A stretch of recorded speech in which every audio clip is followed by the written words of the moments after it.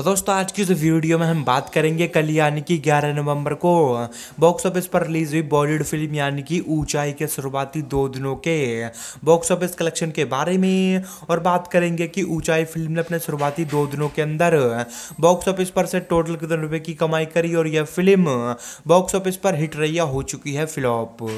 तो दोस्तों, आपको बता दूँ कि ऊंचाई, जो कि एक emotional Bollywood comedy, emotional drama film है, जिस फ़िल्म हमें देखने को मिल रहे हैं अमिताभ बच्चन,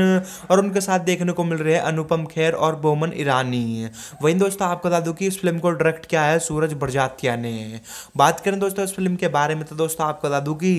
इस फ़िल्म का जो टोटल बजट है, वो बताया जा रहा है लगभग पच्चीस से तीस करोड़ रुपए का।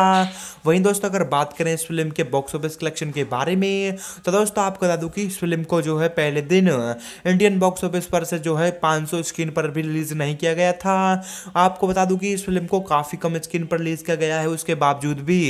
इस फ़िल्म ने अपने पहले दिन जो है बॉक्स ऑफ़िस पर काफ़ी बढ़िया परफॉर्म किया है। जी हाँ दोस्तों, आपको बता दूँ कि इस फ़िल्म ने अपने पहले दिन ही तकरीबन ऑल इंडिया नेट कलेक्शन करा है, लगभग एक करोड़ इक्यासी लाख रुपए का। वहीं दोस्तों, आपको बता दूँ कि इस फ़िल्म को पहले दिन बॉक्स ऑफ़िस पर रिलीज़ होते ही ऑडियंस और क्रिटिक्स दोनों की ही तरफ़ से काफ़ी पॉजिटिव रिव्यूज़ मिले हैं, जिसके चलते यह फ़िल्म अपने दूसरे दिन जो है काफ़ी बढ़िया ग्रोथ दिखा रही है। और दोस्तों, आपको बता दूँ कि जिस तरह की रिपोर्ट्स अभी तक निकल कर आई हैं और जिस तरह का डाटा अभी तक सामने निकल कर आ रहा है, उसके मुताबिक, ऊंचाई फ़िल्म अपने दूसरे दिन ऑल इंडिया नेट कलेक्शन कर रही है लगभग तीन करोड़ साठ लाख रुपए का।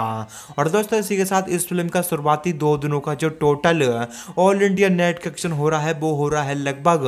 पाँच करोड़ इकतालीस लाख रुपए का। और दोस्तों, आपको बता दूँ कि यह फ़िल्म अपने शुरुआती दो दिनों के अंदर तो काफ़ी बढ़िया परफॉर्म कर रही है। अब दोस्तों, देखते हैं कि यह फ़िल्म आने वाले बिग डेज़ में किस तरह का परफॉर्म करती है उसी के बाद ये बताना आसान होगा कि यह फ़िल्म बॉक्स ऑफ़िस पर